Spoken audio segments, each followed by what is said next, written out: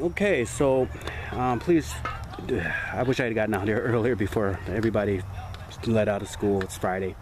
Anyhow, um, I've got a tin box, which is Altoid, Altoid box here, and um, I've got some cotton in here that I've cut up to fit in the box, and I'm going to make some uh, uh, char cloth. So this has a hole in the top, okay? And I close this tight, and then I want to just set this on top of the fire.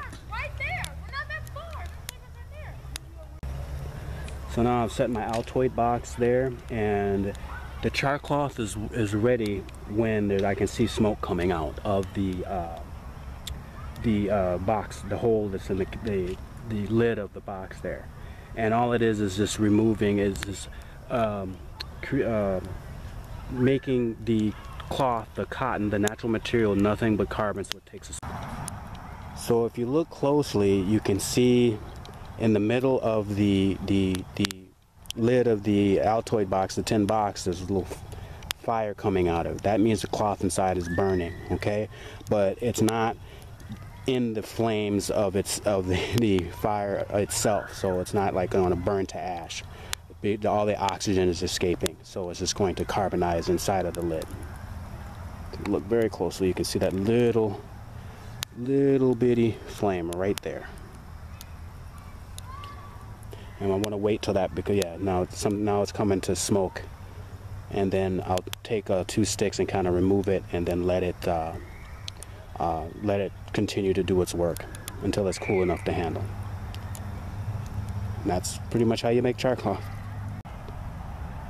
so I was able to take two sticks and just move the um, tin box down there to cool you can see probably see some uh, bits of smoke still coming out wait for that to cool down. All right, so it's Christmas time, so let's see what the char cloth, what happened with the char cloth. Now, of course, this is obviously cool enough to touch, didn't take too long. And uh, pop this open carefully, and there's our char cloth. Okay, so all it would take is just a quick spark. Um, when the fire dies down, I will uh, show a quick demo by using my uh, fire starter to throw a spark in there and see how quickly it takes okay? It's still quite pliable it's just carbonized right? So what happens all this uh, it, these didn't catch fire but all of the because of the hole all of the oxygen was sucked out as these burned. So these will take a flame as long as they're dry very easily.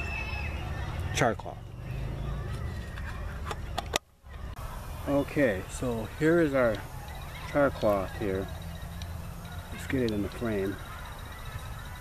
There and here's my flint and steel my, my uh, ferro rod. And I'm just going to throw a spark into it. And it's already starting to spark up. So we have a successful um, char piece of charcoal and you just see it start to the carbon starts to, the, the carbonized cloth, cotton starts to um, burn. So this is a way to make, have some tinder to carry with you as long as you keep it dry.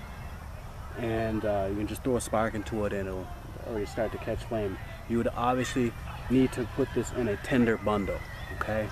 So again, starting with very, very soft items like cotton, uh, plant fluff, uh, and then put it into a tinder bundle of dry grasses. You could use newspaper or uh, uh, brown paper bag or just dry paper, tissue paper, um, news, like I said, newspaper, and then you'd have your fire lay ready and then you place your, your tinder bundle.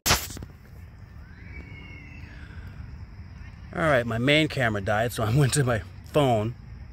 I don't know how much I was able to catch. But anyways, this is what the uh, char cloth is looking like or how it's burning uh, after you uh, throw a spark into it. So this would go in, again, this would go into a tinder bundle of very soft cottony material, if not cotton itself, wrapped around dry gra grasses or newspaper or any type of paper. Um, or, you know, like I said, grasses or dry leaves.